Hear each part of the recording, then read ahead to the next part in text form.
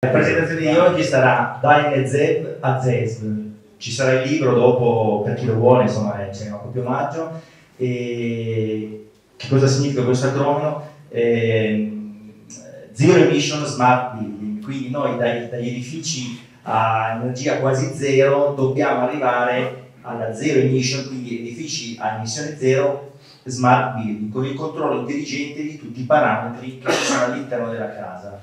Eh, quello di cui volevo parlare è, eh, sono tre piccoli argomenti, uno è che cos'è eh, un edificio di valore, l'intelligent building, ovviamente serramenti e risparmio. Eh, c'è un'immagine, la vedete, di una casa con su scritto sotto eh, valore di una casa, così faccio anche l'animazione. Cos'è il valore di una casa? Eh, molto velocemente, una casa Courmayeur ha più valore di una casa Volpiano non è di questo che però vogliamo parlare oggi, cioè non è il valore economico dell'abitazione, il valore di una casa è il valore di quanto le persone stanno bene all'interno della casa e soprattutto, come abbiamo visto in tutte le presentazioni di oggi, quanto è il risparmio che questa casa porta e il beneficio ovviamente all'ambiente.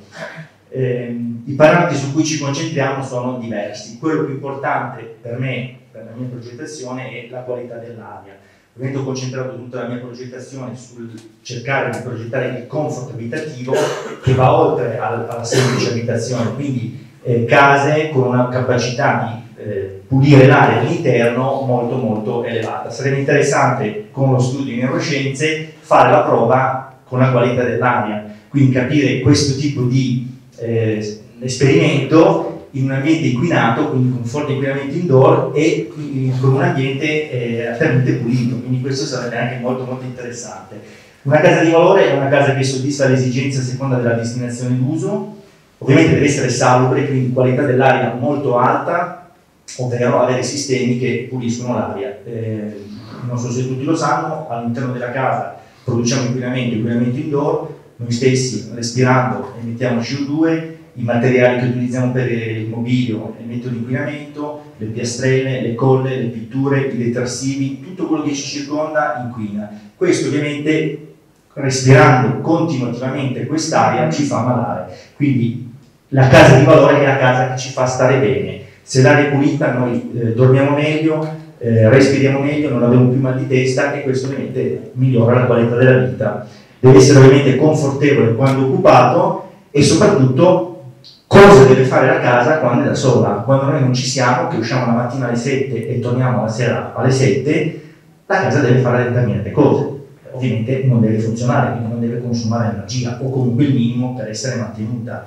Deve comunicare con noi, quindi ci sono le app che comunicano con noi e migliora ovviamente l'esperienza che noi abbiamo nel vivere eh, la nostra abitazione. Ovviamente usare tutta e solo l'energia per il comfort Sta arrivando. Sta arrivando, fantastico. Ma che continuo così, mi sembra che, eh, stiamo, che, che stiamo andando bene. Deve usare, eh, deve auto, autoprodursi l'energia e quindi essere eh, a basso impatto ambientale e possibilmente cedere al vicinato eh, l'energia in surplus. Quindi adesso sono nate le comunità energetiche, questo ovviamente migliora e soprattutto sensibilizza le persone. Quindi magari io ho fatto delle, ultimamente eh, delle ville con dei tetti molto, molto ampi, facendo parecchi fotovoltaici, quindi magari anche 20 kW, che non erano, diciamo così, eh, necessari all'utilizzo eh, dell'abitazione, che con una comunità energetica ovviamente può distribuire l'energia ai vicini. Deve essere esteticamente accattivante e, come detto prima, comunicare agli occupanti le sue performance. Lexus, ho preso qualche spunto dai giapponesi perché eh, quello su cui noi dobbiamo andare a lavorare nel futuro è progettare le case come progettano le auto, perché noi saliamo su un'auto, come ha detto prima, non mi ricordo chi, e vediamo le case senza livello di istruzione. Dobbiamo arrivare a questo, cioè noi quando saliamo su un'auto abbiamo il mondo, le case ancora non lo sono, quindi cercare di tendere a eh, quello che fa Lexus e quindi adattare i desideri, i principali bisogni dei clienti creando un'esperienza capace di coinvolgerci. Questo sicuramente sarà il futuro delle abitazioni.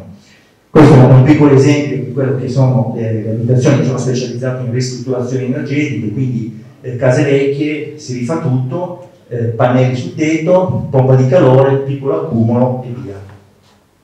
una cosa così, qualche spunto, mi piace molto questa idea, tetto più solare, ovvero tetti piani dove facciamo un tetto verde, quindi con 10-15 cm di terriccio si può costruire un, eh, un tetto verde che migliora la biodiversità della zona, raff- mh, aiuta a non eh, riscaldare troppo le superfici del tetto e soprattutto col fotovoltaico riusciamo a creare qualcosa di mh, superlativo per noi e per l'ambiente che ci circonda.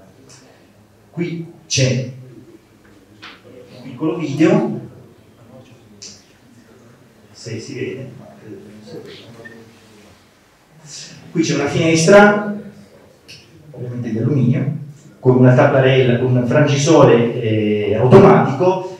Il concetto che volevo far passare è che eh, per fare risparmio energetico con intelligent building dobbiamo avere sistemi automatici che ci aiutano a migliorare il comfort. Quindi se io ho un'abitazione che non è abitata durante il giorno e c'è molto sole, devo avere dei sensori di temperatura che mi fanno scendere giù il frangisole e quindi mi riparano dal sole, perché quando io faccio entrare il caldo all'interno dell'abitazione poi è molto difficile tirarlo fuori, quindi il consumo di energia è molto alto. Quello su cui mi sto eh, diciamo così, specializzando nell'ultimo anno, nell'ultimo periodo, è, è appunto la Zero Emission Smart Building. Eh, non sono ancora normative che stanno uscendo diciamo, in Italia, però l'Europa ne sta parlando. Questo qui sarà l'indice del futuro nelle certificazioni energetiche, quindi lo Smart Readiness Indicator, ovvero eh, l'indicatore dell'intelligenza dell'edificio. Questo è molto importante, si collega a tanti argomenti che abbiamo visto oggi, perché io qui ottengo una classe A quando all'interno della mia abitazione ho dei sensori che mi vanno a misurare la quantità di CO2, la quantità di composto organici volatili, di volatili soprattutto di formaldeide, che per chi non lo sa è cancerogena, eh, e mi vanno a comandare i sistemi di ventilazione. Quindi va bene la temperatura, va bene l'umidità, dobbiamo andare ancora oltre. L'oltre è questo qui. Quindi da qui in avanti eh, è qui che dobbiamo tendere nel, nel prossimo futuro.